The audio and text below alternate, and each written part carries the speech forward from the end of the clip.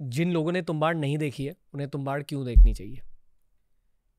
क्योंकि ऐसी फ़िल्म हिंदुस्तान से बनी नहीं है, इसलिए देखनी चाहिए। Like horror is not the correct word मतलब मेरे हिसाब से इसका जोनरा आप डिफाइन नहीं कर सकते। ये दादी माँ की कहानी है। जैसे दादी माँ कहानी सुनाती थी ना कि बेटा एक राजा होता था। अभी मैं तुम्हें कहानी सुनाता हूँ कि एक राजा होता था, वो एक गुफा में जाता था, वहाँ एक राक्षस था, वो राक्षस से खजाना लेके आता था। और गेम ये था कि अगर राक्षस राक्षस आपको टच करेगा तो आप भी राक्षस बन जाओगे। अब ये कहानी है। मतलब मुझे लगता है कि फोकलोर सही मायने में हाथी मताई बनी थी, मेरे हिसाब से कुछ सेवेंटीज़, एटीज़ में, ऐसा मैंने नाम सुना हुआ शायद जितेंद्र थे उसमें। उसके बाद फोकलोर बनी नहीं है इंडिया से तो इसलिए देखनी चाहिए कि इस जॉनरा की कोई फ़िल्म नहीं है। It's not a horror film. Thriller है, ड्रामा है, डर लगता है आपको। और दादी माँ की कहानी है सबसे ज़्यादा। और कुछ ना कुछ सिखाती है आपको। इट्स अ मॉरल टेल और हिंदुस्तान में तो खास कर ये कि हम सिनेमा से सीखते हैं। अब तो क्या कि बहुत अवेयरनेस आ गई है सोशल मीडिया के टाइम में। एक टाइम था जैसे मुझे बहुत अच्छे से याद है कि थ्री इडियट्स फ़िल्म देखने के बाद पेरेंट्स ने अलाउड किया था बच्चों को अच्छा बेटा तुम आ, सिंगर बनना चाहते हो कर लो। नहीं तो उससे पहले तीन चार प्रोफेशन होते थे इंजीनियर बन जाओ आप डॉक्टर बन जाओ। तो फ़िल्मों का हमारे यहाँ बहुत इम्पैक्ट है। तो मुझे लगता है कि इसलिए ये फ़िल्म देखनी चाहिए कि बहुत ही यूनिक फ़िल्म है। बिल्कुल भी हॉरर एलिमेंट्स नहीं थे आपके दिमाग में कॉन्सेप्चुलाइजेशन के टाइम नहीं क्योंकि ये अगर आप देखोगे तो हॉरर जैसी कोई ट्रीटमेंट नहीं है इसकी कोई जंप स्केट्स नहीं है कि आपको ऐसे लगे कि दरवाज़ा खुलेगा अब कौन आ जाएगा? ऐसा कुछ नहीं है मेरे हिसाब से कि है क्रीचर है क्रीचर की फ़िल्म है। But it's not a horror film एक बार आपको समझ में आ गया तो कुछ और ही कहानी है कुछ और ही सेटअप है। Okay okay. हमारा जॉनरा नहीं है। अगर आप बुक माई शो पे जाओ जब हम 2018 की बात बता रहा हूँ मैं आपको तो जॉनरा क्या है? फोकलोर नाम का जॉनरा नहीं है। हाँ। तो आप किसमें डालोगे? आप हॉरर थ्रिलर ये करके आप टैग कर देते हो horror but it's not horror horror according to me जब हम इस पॉडकास्ट के लिए प्रेप कर रहे थे और आपस में बातें हो रही थी वी वर सेइंग कि यार ये इतनी हाई कॉन्सेप्ट फ़िल्म है कि कॉन्सेप्चुअली बहुत एडवांस्ड है एंड जिसने भी ये फ़िल्म लिखी है बहुत दिमाग लगाया हर सीन में। आई हम्म। फील कि जब ये फ़िल्म शूट भी हुई है तब लोकेशन uh, स्काउटिंग में बहुत दिमाग लगाया गया लाइटिंग में बहुत ज़्यादा दिमाग लगाया गया। बहुत ज़्यादा डिटेल ओरिएंटेड फ़िल्म है। तो I actually was terming at a high concept film but जब आप बातें कर रहे हो ऐसा लग रहा है कि नहीं एक्चुअली सिंपलिस्टिक प्रेमाइज है। बट ये सिंपलिस्टिक प्रेमाइज का आइडिया आपसे आया है। I personally look at it as very very high concept नहीं नहीं इट इज़ लाइक क्या चीज़ होती है कि यार एक कहावत होती है लोकल सीजनल ऐसा कुछ करके होता है कि लोकल खाना चाहिए सीजनल खाना चाहिए। तो बहुत ही लोकल भारतीय फ़िल्म है इंडियन फ़िल्म है। पर जो आपने कहा कि बहुत ही हाई कॉन्सेप्ट है बिल्कुल हाई कॉन्सेप्ट है। इस फ़िल्म को बनाने में हमें छः साल लगे। उससे पहले राही ने बहुत मेहनत की हुई थी जो डायरेक्टर थे। जब राही हमारे पास लेके आया था तो बहुत ही डिटेल चीज़ लेकर आया था कि उसके पास एक 700-800 पेजेस का तो पूरा बुकलेट हुआ करता था, जिसमें स्केच किए हुए थे हर सीन, लोकेशंस के फ़ोटो थे। पंकज और राही, पंकज जो सिनेमाटोग्राफर थे, उन लोगों ने बहुत रेकी की थी। तो हर चीज़ की इतनी रेकी हो चुकी थी, उसके बाद हमने शूट चालू किया, उसके बाद हमने छः साल लगा दिए। आप फ़िल्म को देखोगे तो सिनेमाटोग्राफी इतनी कमाल की है फ़िल्म की। और मूड हमने कैप्चर किया, हमने बारिश में शूट किया है। तो उसके लिए अगर बारिश निकल गई तो हमें एक साल सीधा जंप करना पड़ता था। क्योंकि बारिश तो चलो आप आर्टिफिशियल करवा लोगे, पर क्लाउड्स मैच करने पड़ेंगे। हमने ऐसे दिन देखे हैं कि जहाँ हम, हमारा पूरा सेट वेट कर रहा है बादलों के लिए, तीन तीन, चार चार, पाँच पाँच दिन। और विंडो यही है, अगस्त, सितंबर में शूट कर सकते हो आप ये दो महीनों में। तो नहीं तो मूड मैच नहीं होगा। तो आप पूरी फ़िल्म में देखोगे तो आपको लगेगा ये ट्रांसपोर्ट करती है आपको। अगर सिनेमा से बाहर निकलोगे तो आप सोचोगे कि बारिश नहीं हो रही क्या? ये चीज़ है वी एफ़ एक्स मैं छोटी सी स्टोरी सुनाता हूँ। गो हेड गो हेड तो भाई मेरे तो पैसे ख़त्म हो गए थे फ़िल्म बनाते बनाते। तो फ़िल्म रेडी थी शूट हो गया था। नाम भी था फ़िल्म का तो मैंने सोचा कि मुझे पोस्ट प्रोडक्शन के लिए फंडिंग मिल जाएगी। तो मैं किसी को ले आता हूँ। तो मैंने प्रोडक्शन हाउस को अप्रोच किया वो तैयार हो गए।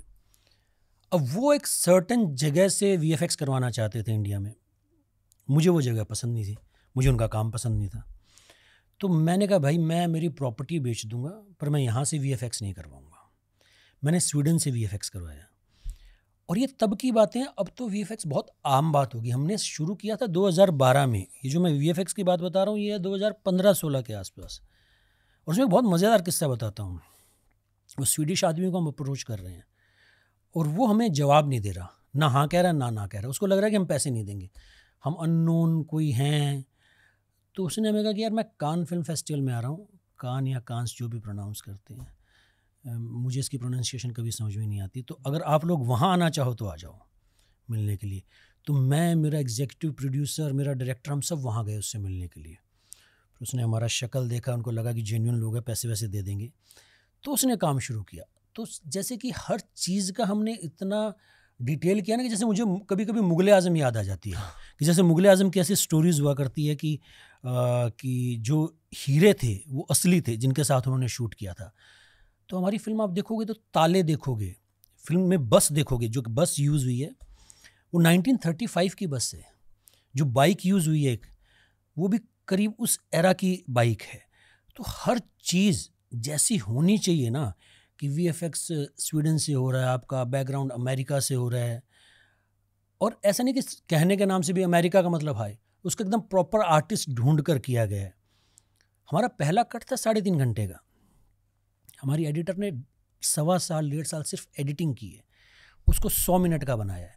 तो हर चीज़ को जितना टाइम जो चाहिए था ना हमने वो दिया है। इसलिए आप कह सकते हो बिल्कुल हाई कॉन्सेप्ट फ़िल्म है। और फ़िल्म में देखोगे तो बहुत लेयर्स हैं। बहुत कुछ सीखने को है। आई फील कि किसी को ना प्रेप करना पड़ता है तुम्बाड़ के लिए तुम्बाड़ देखने के लिए। थोड़ा सा ऑनेस्टली और ये हम प्रेप कर रहे हैं। हाँ। कुछ ओकल चीज़ें हुई? हाँ मतलब हम एक ये वाड़ा था अगर आपने देखी है फ़िल्म? जी। जिसमें हम शूट करते थे।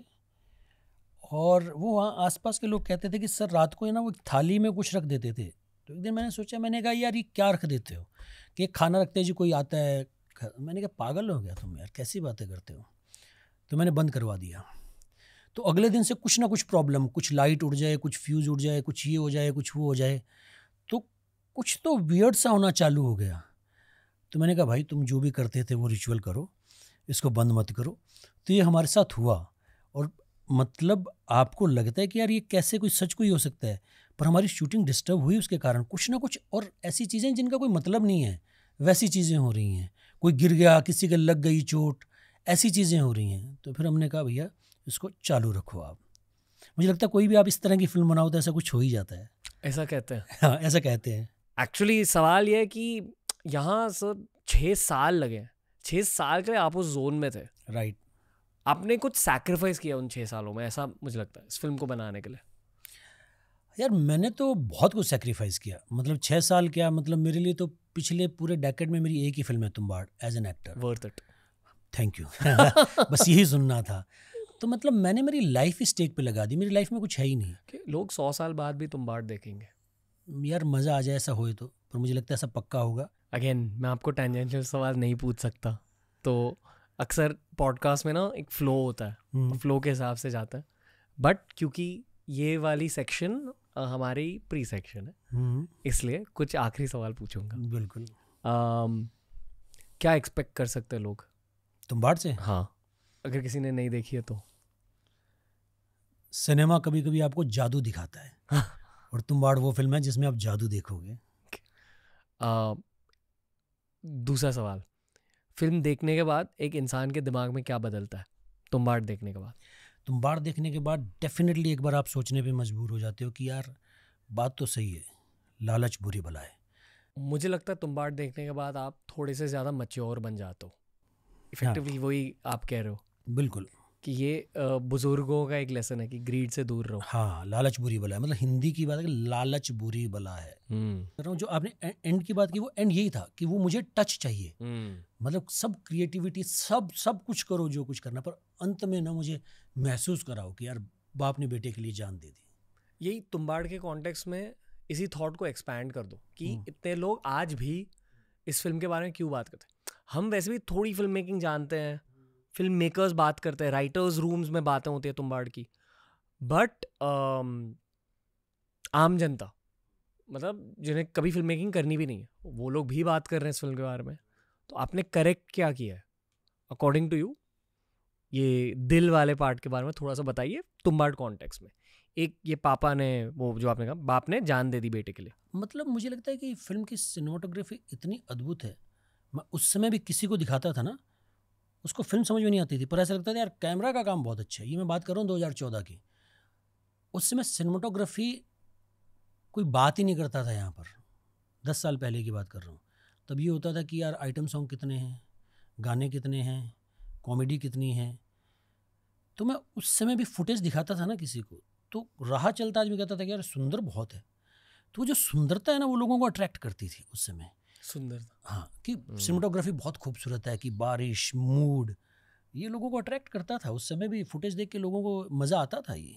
जिस समय फ़िल्म आई थी उस समय सिनेमा में कनेक्ट नहीं की क्योंकि कोई बड़ा स्टार नहीं था बड़ा डायरेक्टर नहीं था वो ज़माना अलग था। हमारे आगे अंधाधुन पीछे बधाई हो साथ में फ़र्स्ट मैन पर ओ टी लोगों ने प्यार दिया क्योंकि बहुत ही इंडियन स्टोरी है। तो उसने मुझे लगता है कि वो बहुत वर्क की है। प्लस ग्रेट सॉरी मैं ये टर्म यूज़ कर रहा हूँ but great horror film great psychological film की एक कमी है क्योंकि ये टैग आ जाता है पीपल आर ये सॉरी आई नो दिस नहीं नहीं नहीं नहीं प्लीज़ आप कहिए मुझे हॉरर फ़िल्म से बहुत डर लगता है। भाई okay. मैंने मेरी ज़िंदगी में डेढ़ हॉरर फ़िल्म देखी है एक तो राज जो पूरी देखी है बिपाशा वासु हाँ बिपाशा वासु वाली। और एक भूत देखी जो मैं आधी देख कर आ गया। मुझे बहुत डर लगता है।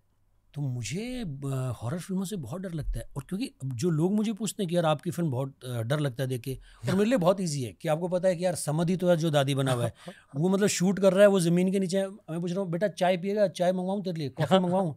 और तो मेरे लिए तो कुछ भी वियर नहीं है। हस्तर मैंने थोड़े दिन पहले एक पोस्ट किया कि मैं ऐसे सोया हुआ हूँ सर्कल बना हुआ है और हस्तर साइड में है। हम्म। अब लोगों के लिए वो इमेज बड़ी खतरनाक है। मुझे तो पता है यार वो कौन सा एक्टर प्ले कर रहा है। हाँ तो ठीक है ना यार? तेरे को हम्म। चाहिए तो मुझे बता देना कि हम दोनों ही हैं। मतलब कुछ कैमरा लगा हुआ हम मैं वैसा हूँ नहीं कि जाके वैनिटी में चला जाऊँ। मैं वहीं लेट जाता था सेट पे। तो मैं बात करता रहता था उनसे तो चाहे आधा घंटा मैं सो लेता था वहीं। मुझे बहुत मज़ा आता था। मुझे सेट पे रहने में ना बहुत मज़ा आता है। तो मेरे लिए मुझे क्या डर लगेगा वहाँ? पर मुझे जब दूसरों की फ़िल्म देखता हूँ ना भूत राज तो मुझे बहुत डर लगता है। दोस्तों ऐसे ही बहुत सारे क्लिप्स अपलोड किए हैं इस चैनल पर। चैनल को एक्सप्लोर करो देखते जाओ और सीखते जाओ।